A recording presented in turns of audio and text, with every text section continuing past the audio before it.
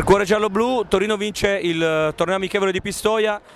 Rosselli abita qua vicino, sta andando a casa, l'abbiamo bloccato giusto per fare una battuta e un saluto. Grande partita, che impressioni hai avuto di questa, di questa nuova PMS che sta lavorando secondo me molto bene? Beh, stiamo, come detto te, stiamo lavorando bene in questa settimana, poi fra l'altro senza Valerio abbiamo dovuto trovare un assetto nuovo, io sto giocando più da 4 e quindi anch'io devo nel senso trovare i meccanismi giusti, anche Ron un po' da 4, quindi Sicuramente non è facile trovare un assetto perché Valerio è un giocatore importante per noi che ci dà pericolosità sia spalla a canestro che fronte a canestro, portando fuori lunghi avversari e quindi stiamo lavorando in quella direzione e diciamo che queste due partite sono andate bene.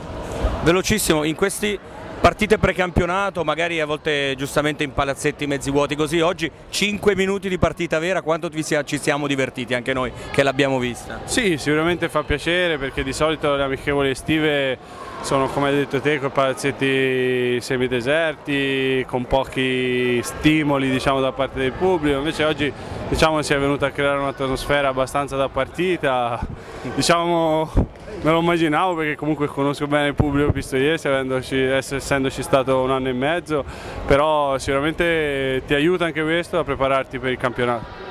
Loro, noi siamo pronti, loro prontissimi, ci vediamo presto. A prestissimo. Grazie.